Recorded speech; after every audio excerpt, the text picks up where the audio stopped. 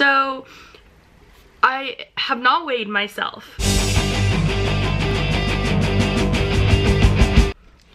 Hi guys, welcome back to my channel. It is December, which you can't really tell, but I kind of decorated my room um, because I love Christmas.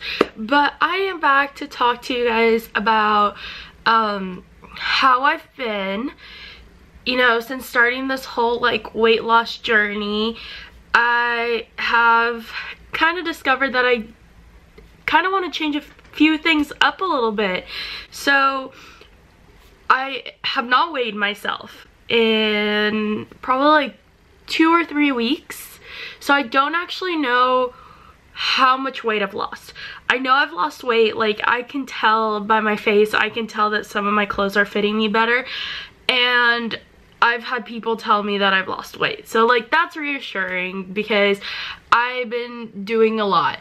Since the last time that I posted, um, first thing that's changed is I'm back in my old room.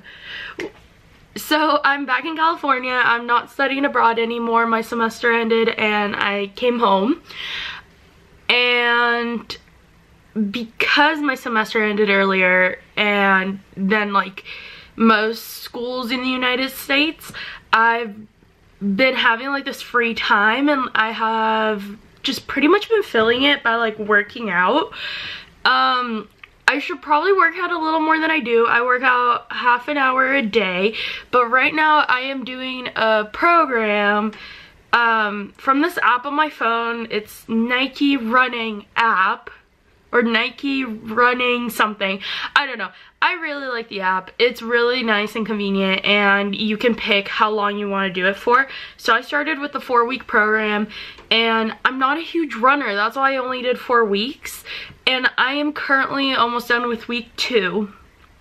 Um, I really like it. It really fits to anyone's needs.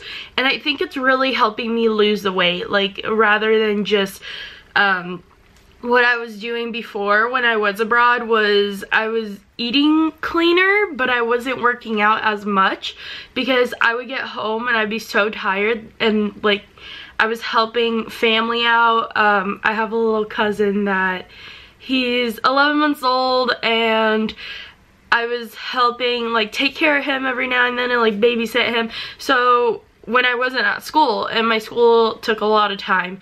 So that's why I wasn't working out as much. But then now that I am home and I have not a lot of things to do, I am focusing that time on working out. Um, my day mostly consists of I have breakfast when I wake up, which if you know me, you know I hate eating breakfast. Like I cannot stand eating breakfast. I don't know why. I have never been a breakfast person. I think it's because, well, since like high school I haven't been a breakfast person. I think it's because I used, when I played water polo, I had morning practice and I was always scared of getting sick if I ate too much before practice.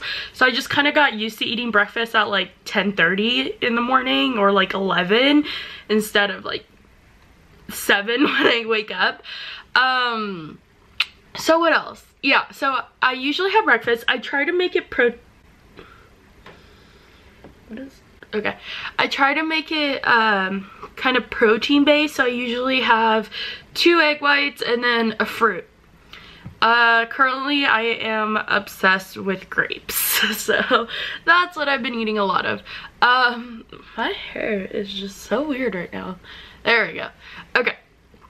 And then I'll have a granola bar for a morning snack. And then for lunch, I used to eat a lot of salads in the past few months. So I'm kind of bored of them right now. So I'm trying like new stuff. And also like I've been trying to cut dairy off and um, gluten and the dairy's going pretty well. Like i found dairy free yogurts and like um, lactose free or yeah lactose free milk. So that has a lot of options but with gluten it's really hard for me because I absolutely love bread and pastas and like I, rice and all of that stuff and I love carbs. So for me right now, like the only carbs I'm mostly eating is uh, sweet potatoes. That was a blank. Is sweet potatoes. So it's kind of a struggle because I really, really like carbs and I really like bread. And so I've been kind of doing this thing where I go to the supermarket. We have Nob Hill down the street. So they have a good gluten-free section. And they have like gluten-free brownies and gluten-free cookies and gluten-free um, bagel chips. I love their gluten-free bagel chips. So luckily I'm able to find all of that. My camera's gonna die in a little bit. But, you know, it's it's difficult. Um, then for dinner, I'll have a snack in between like lunch and dinner and that'll usually be some fruit with some bagel chips and avocados. And then for dinner, I will have um, usually like a vegetable, a sweet potato, and a protein. And, or like not a whole sweet potato because that's a lot of food. But that is pretty much what I've been doing. And then in between the day, I've been going to the gym and doing my half an hour and I'm super excited because I'm actually seeing results. And I also drink a lot of tea, which I think helps.